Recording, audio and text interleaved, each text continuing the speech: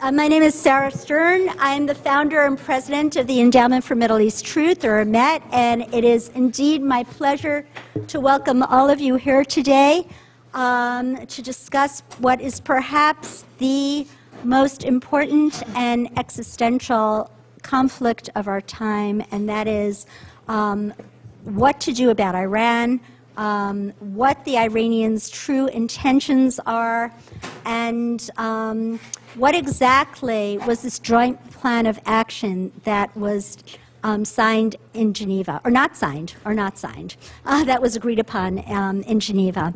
Um, we actually cannot have a more capable and qualified group of people to come um, discuss with us today. But before I introduce our guests, I would just like to say that we are honored to be co-sponsoring this with the Center for Security Policy, and I have to my right my dear colleague, not literally or figuratively, I mean just literally, physically, uh, my dear colleague Ben Lerner um, from the Center for Security Policy. Um, and he's going to say a few words, and then I will take it and introduce the panel. Thank you so much. Thank you, Sarah. And let me just quickly welcome all of you to this panel on behalf of the Center for Security Policy. We are honored to be co-sponsoring this important discussion with our friends at the Endowment for Middle East Truth.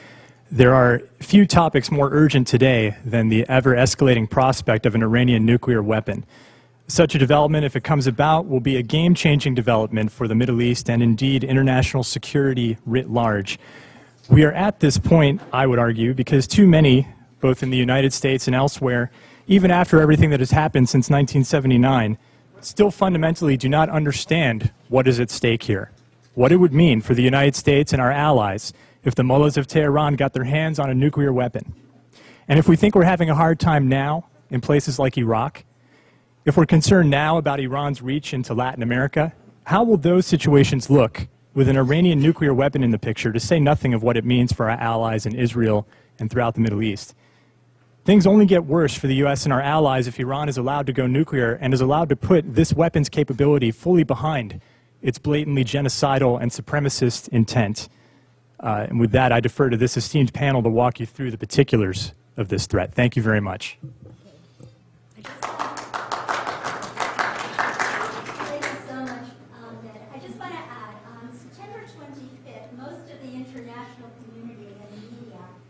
Were enthralled by the soft, charming words of President Hassan Rouhani when he spoke at the United Nations. Um, among the soft and charming words from Mr. Rouhani were these nuclear weapons and other weapons of mass destruction have no place in Iran's security and defense and contradict our fundamental religious and ethical convictions. He expressed the hope of universal acceptance by the people and the elite all across the globe of yes to peace and no to war, for the hope of a, a um, reference of dialogue over conflict and no to extremism. On November 24th, much of the international community and the media were enthralled when Secretary of State John Kerry announced that a deal, or a joint plan of action had been concluded in Geneva between Iran and the P5 plus one nations, the United States, Great Britain, France, Russia, and China, plus Germany. On December 12th, when asked in front of Congress and questioned very hard by some of our wonderful members, um, Wendy Sherman and David Cohen had said that new sanctions were going to be invoked against Tehran, at which point um, the P5 plus one talks have been convening in Vienna, and the Iranians walked out saying that this is not the agreement that we had agreed to.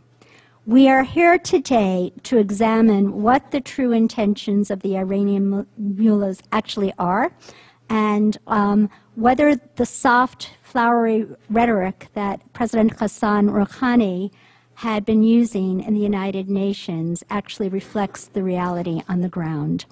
So, here to discuss these issues, we could not have a more competent and capable panel. Dr.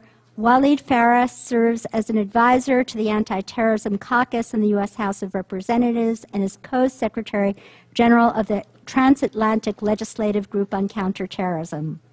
Um, he has testified before Congress numerous times, the European Parliament, and the United Nations Security Council on matters related to the international security and to the Middle East conflict.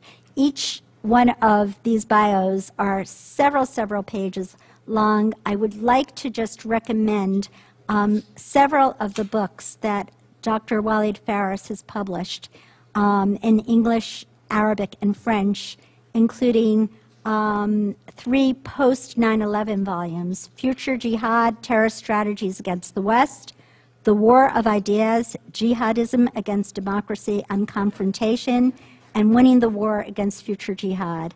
I, I don't know what the total number of books is that Dr.